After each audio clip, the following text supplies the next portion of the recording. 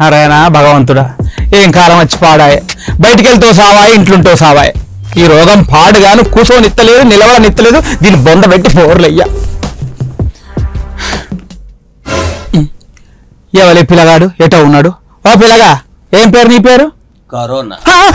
నువ్వేనా కరోనా అంటే ఏ నుంచి వచ్చినావు? గబ్బిలాల ఓ గబ్బిలాల పేట ఏం పేట? ఏడుంటది అది? చైనాలో. చైనానా? చైనా నుంచి వచ్చి నువ్వేనా? నిన్ను బొంద పెట్ట నిన్ను బోర్లయ్యా నీ మొల్దాలని చెప్ప నిన్ను నావు నరక నిన్ను బొందలో గడ్డలో పెట్ట నిన్ను.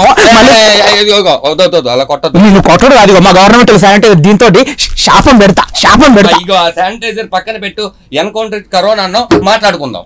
కాదు మాట్లాడేంద్ర నీతోటి. చైనాలో పుట్టినాడు చైనాలో ఉండకుండా మా ఊరికి ఎందుకు వచ్చినావు?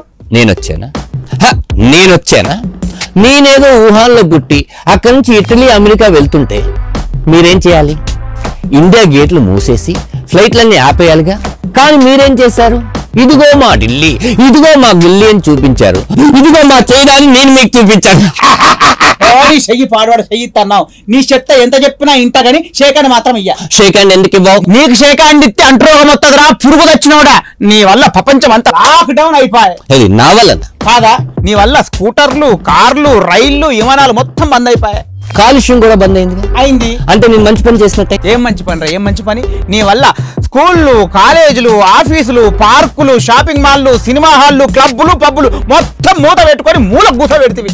ఇది కూడా మంచి పనేగా. కాళ్ళు చేతులు కట్టిపడేసి మా మంచి కంటమేంద్రా మాయదారు సచ్చినోడా ఇప్పటి వరకు ఫ్యామిలీ మొత్తం కలిసి ఇంట్లో ఉన్నారా?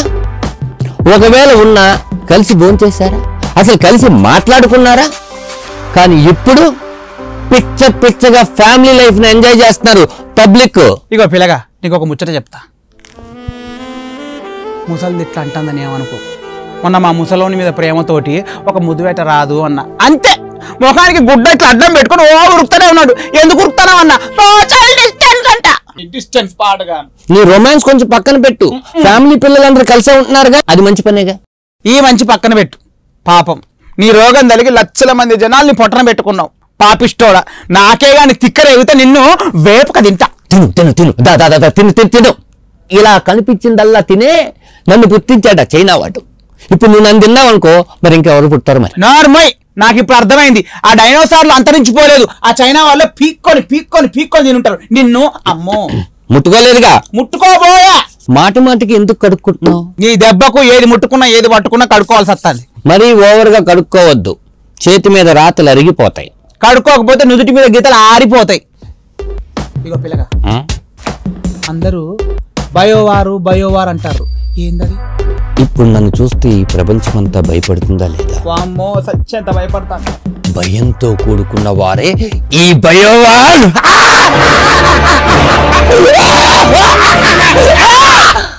నువ్వు నవ్వుతుంటే కుక్కలు నక్కలు పిల్లులు బల్లులు గుడ్ల గూపలు గబ్బిలాలు అన్ని అరుస్తున్నట్టుంది అష్టదరిద్రుడా. ఏయ్ ముసలిదానా? ఏదో పెద్ద దానివి అరవై సంవత్సరాలు దాటిన దానివి నీలో ఇమ్యూనిటీ పవర్ రోగ నిరోధక శక్తి తక్కువ ఉంటుందని ఊరుకుంటుంటే ఏంటి రెచ్చిపోతున్నావు?